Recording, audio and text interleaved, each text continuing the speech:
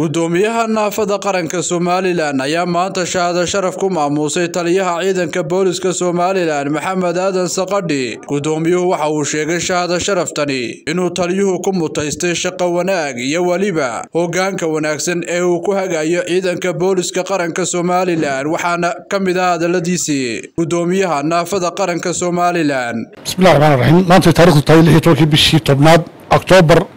annagoo gudoomiyaha warka lafada jamhuuriyadda somalilan waxaanu guddoonsiinaynaa taliyaha ciidanka booliska qaranka jamhuuriyadda somalilan sarreeye guuto maxamed sarreeye gaas maxamed aadan maxamuud dabagale shahaado sharaf taasoo ku mutaystay ilaalinta nabadgelyada iyo sugidda amniga shacabka jamhuuriyadda somalilan gudo iyo dibadba hambalyo hambalyo waxaanu leenahay haddii aanu nahay bulshada kuwii ahaa naafada waxaanu leenahay sugidda uu nabadgelyada sugay. Ayaanu haddii aanu nahay dhammaan shacabka reer somalilan min bari min galbeed hurdala-aanta iyo soo jeedka